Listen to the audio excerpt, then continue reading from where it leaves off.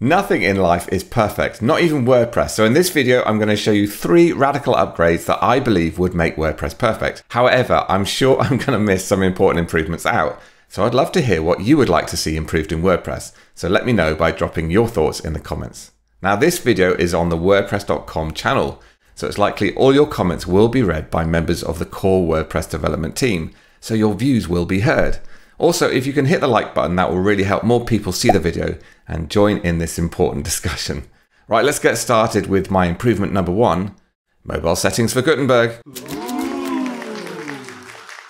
The WordPress block editor, aka Gutenberg, uses intrinsic design, which focuses on automatically adapting to mobile devices without the end user having to make any changes to their normal workflow. For example, as you can see on the screen, WordPress now has flexible fonts that get bigger and smaller on desktop tablets and mobile, and also layouts that adapt to any screen size. For example, columns automatically stack on mobile. And instead of setting specific breakpoints like changing the design at 780 pixels, Intrinsic Design uses CSS tools like Flexbox and Grid to make layouts automatically adjust. This method is great, but it doesn't address every need.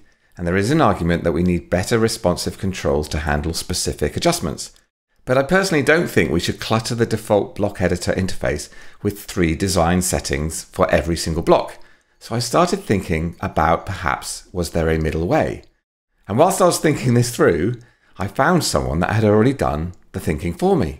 So what you're seeing on the screen is a prototype built by Mike McAlister, the creator of the Brilliant Ollie theme, and he suggests introducing style overrides within the WordPress block editor. This idea would allow users to adjust specific styles for different screen sizes without cluttering the interface. For example, users could tweak padding for tablet view directly in the editor. Responsive styles should only be used when necessary, and settings should only appear when viewing the site on a tablet or mobile in the editor.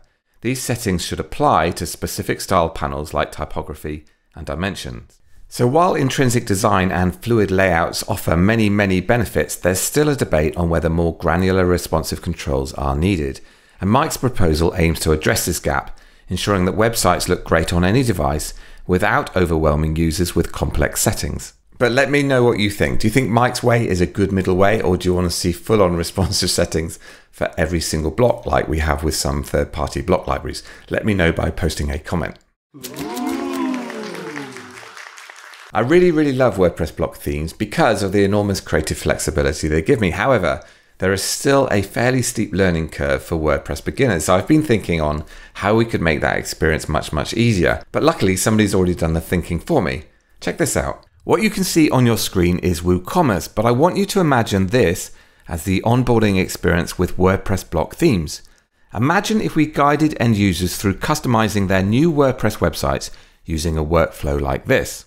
Now, the WooCommerce example here is intended to take place as part of the onboarding experience, but I would love to see this level of abstraction available as part of the core block theme editing experience.